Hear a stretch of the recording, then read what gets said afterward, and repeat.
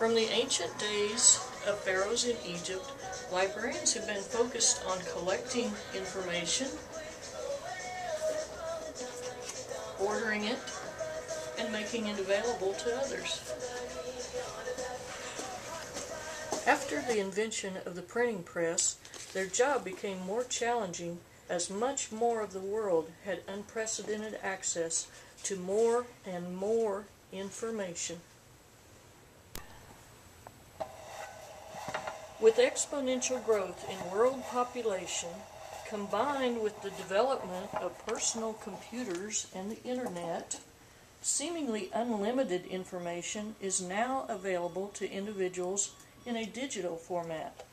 Librarians have been trained or bred to collect and organize information, so now they are trying to do so with digital information which has the added challenge of preservation issues. The term collection development has not been adequate to describe the process of collecting information and preserving it that is not in one physical location.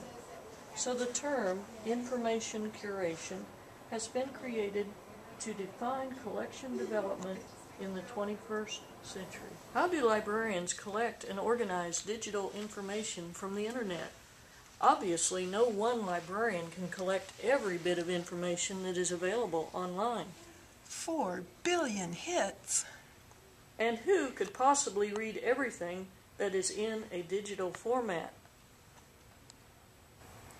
So the librarian's task is to sift through the mounds and mounds of rubble on the internet and find those rare gems that are outstanding bits of information about the subjects that are of interest to their patrons. The next task is to organize those gems into jewelry, artful aggregates of useful information about a topic. After that is accomplished, the challenge is in how to make this jewelry last over time and how to add new gems to it when some of the old gems lose their luster.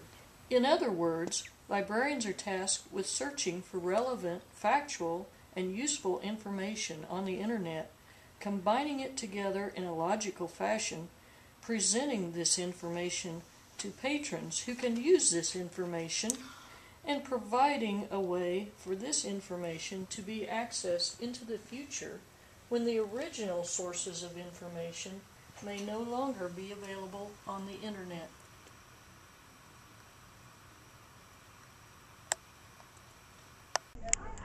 How will this process of information curation benefit communities? It's how we, as librarians, can provide our patrons with the newest, best, and most accurate information in the least amount of time. The time that librarians spend on this digital collection management is time saved for our patrons, and it guarantees that the information they receive is reliable. That's value added information that can be life changing. Don't you know if they move too quick, away.